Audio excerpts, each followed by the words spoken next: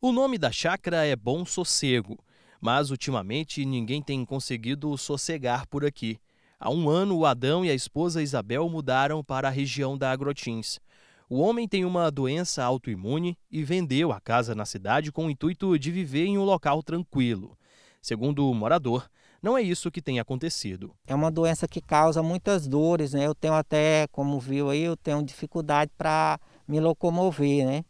E E eu tomo uma, uma medicação também de alto custo, né? São vários medicamentos.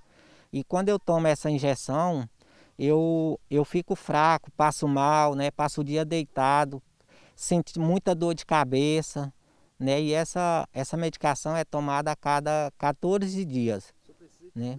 Aí eu preciso, a gente tinha uma casa na rua e vendeu lá para vir para cá porque a gente precisava de um lugar mais tranquilo, mais sossegado, para ter uma qualidade de vida melhor, né?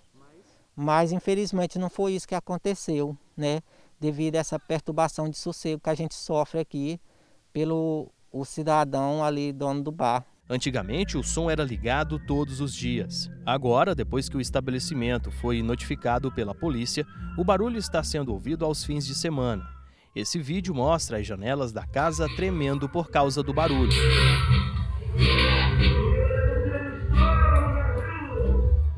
Um abaixo-assinado foi encaminhado ao Ministério Público e à Polícia Civil, pedindo que uma providência fosse tomada. Com mais de 30 assinaturas, né, de idosos, pessoas doentes que usam marca-passo, né, e foi encaminhado para a Polícia Civil e a o Ministério Público. E acabou que ele foi chamado lá, né? Aí foi conversado e ele decidiu parar o som aos meios da semana, né? Mas aos finais de semana continua, quando é festa aí ninguém suporta, continua a perturbação do mesmo jeito. Na região do estabelecimento residem cerca de 50 famílias, dentre elas pessoas que sofrem com problemas de saúde. A gente já pediu para ele né, baixar o som, se tinha como ele baixar um pouco o som dele, e ele falou que não, que não tinha como ele baixar o som, até falou para a gente procurar os direitos da gente, que nós podíamos procurar os nossos direitos, que ele não ia baixar o som. Então, isso eu tenho sentido muita dor de ouvido quando ele liga o som lá muita dor de ouvido e não consigo mais falar no celular com o celular no ouvido, porque sinto dor muito forte agora com o celular no viva voz, porque causada já essa dor no meu ouvido devido ao som dele. Os moradores afirmam que já pensaram em se mudar mais uma vez. Eles dizem que não querem prejudicar o comerciante, mas pedem que o volume do som seja reduzido. Nós não quer prejudicar ele. Nós só, nós, a gente já até pensou de vender aqui e embora daqui, mas como a gente já teve um, um gasto alto aqui, a gente não quer sair, não quer se desfazer das coisas que a gente já investiu aqui. Então a gente só queria que ele baixasse um pouco esse som. Nós não quer prejudicar ele. Nós só quer que ele diminua o volume desse som que está muito alto, está causando doença nas pessoas inclusive em mim mesmo, porque está terrível. Nós viemos procurar o dono do estabelecimento, que confirmou que realiza eventos apenas nos fins de semana. Ele, inclusive, está aqui agora com a gente para falar sobre isso. É o seu José Wilton.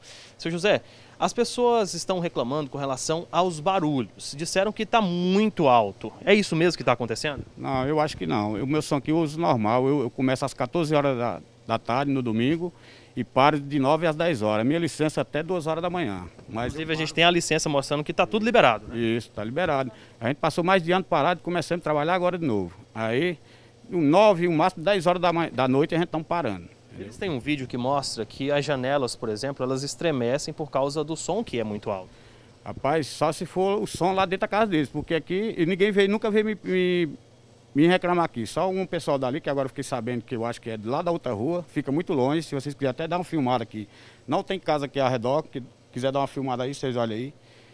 E eu acho que está errado isso, né? mal entendido aí. Está tudo legalizado. Está tudo legalizado. Eu, eu tenho uma vara aqui para funcionar até 2 horas da manhã. E o máximo 9, 10 horas eu estou parando.